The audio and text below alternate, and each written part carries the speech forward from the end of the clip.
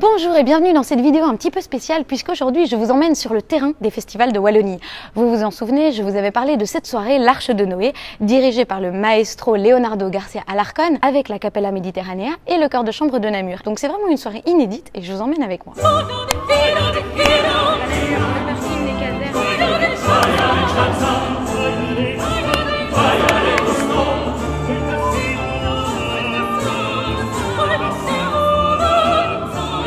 Aujourd'hui, vraiment, c'est très important parce qu'on se retrouve pour fêter d'une certaine façon les 10 années et qu'on travaille ensemble.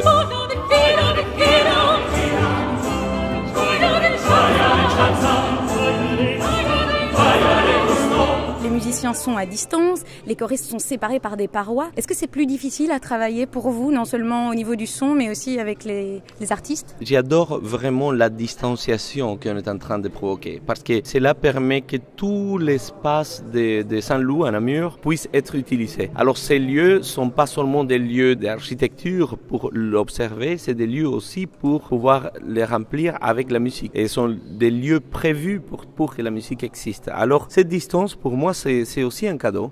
Euh, J'adore. C'est vrai que on aime beaucoup une grande proximité, mais maintenant que le public n'est pas là, on doit profiter de cet espace.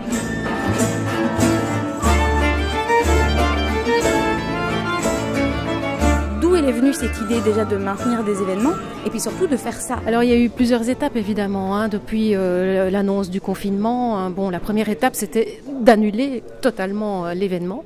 Et puis euh, petit à petit, euh, on a imaginé qu'on voulait euh, rester en contact avec le public. L'idée est née euh, via aussi notre fédération des festivals de Wallonie qui, qui nous ont euh, suggéré de peut-être penser à ce drive-in euh, movie. Croyez-le ou non, on est le 8 juillet et il pleut. Voilà, cette année 2020 aura été euh, plus que surprenante. Donc actuellement, je vais de l'église Saint-Loup où était filmé le concert vers le parking des casernes où il y a le drive-in movie.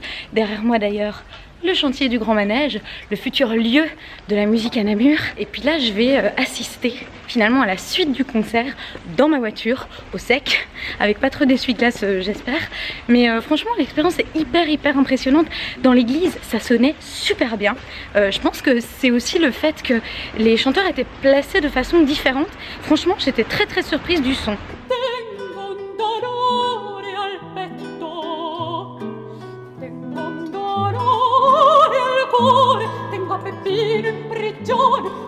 In prigione, lo voglio libertà. Monsieur, est-ce que c'est votre premier drive-in? C'est vraiment la première fois que je suis euh, une retransmission en direct en étant dans une voiture. Alors, cette expérience? Ah, elle est superbe. Oui, oui. Non, c'est très chouette. Mais c'est c'est assez chouette d'avoir le, le direct et de, voilà, de savoir que ça se passe vraiment maintenant. Donc on a l'impression de- quand même d'assister à quelque chose de, de privilégié, comme quand on va au concert. Et qu'est-ce que c'est justement les avantages ou peut-être les inconvénients? Les inconvénients, c'est très certainement de ne pas faire partie d'un public, d'un tout. La, la proximité, il n'y a quand même pas cette même vibration, c'est un peu plus froid au niveau de la sonorité. Mais, euh, mais voilà, il y a un côté déjà nouveau qui rend la chose très amusante, il y a un côté expérience euh, à découvrir. Et puis oui, c'est- un peu hors du commun, donc c'est marrant. Bon, c'est chouette, euh, voilà, ça manque un peu d'être dans la salle et de, de recevoir euh, l'énergie du, concert live. Voilà, on aurait pu rester à la maison et le regarder dans son canapé ou quelque chose comme ça, mais non, enfin, c'est sympa d'être là. Mais il n'est pas impossible que je n'aurais pas été voir le concert et que parce que c'était nouveau le drive-in, je suis venue découvrir le Ouais. concert. Oui, tout à fait. Le, le- le fait de faire un, un drive-in, de créer une, euh, un format vraiment euh, novateur et créatif, euh, c'est ça qui m'a attiré. euh, c'est pour ça que je suis là. Et du coup, le gros plus, c'est quoi pour vous?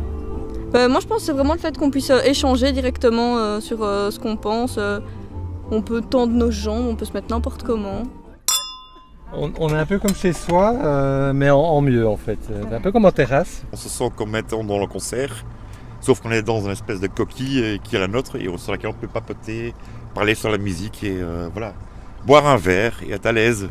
Avec le côté qu'on peut déconner un petit peu et que si on se mettait à déconner euh, comme ça dans une vraie salle de spectacle, ce serait peut-être moins bien vu. C'est- ça, ça fait partie de l'expérience. En plus, il est bon. C'est du fait maison? Ouais. Vous Ah. voulez? Euh, mais alors je sais pas si je peux au niveau euh, Covid. euh, Ah, je vais mettre ouais. du gel et après je, je teste. Le concert s'achève tout doucement, il est temps pour moi de vous dire au revoir. Merci beaucoup d'avoir regardé cette vidéo. En tout cas, c'est vraiment vraiment un chouette concept. Si malheureusement on peut pas tout de suite regagner les salles de concert, c'est vraiment un concept à creuser et je vous conseille d'y aller avec des amis ou, ou même seul en fait parce qu'il y a vraiment une cohésion qui se crée. Les gens euh, klaxonnent à la fin des morceaux, c'est vraiment vraiment agréable. Si on peut pas tout de suite réorganiser des concerts de façon traditionnelle, le drive-in movie, c'est pas une mauvaise idée.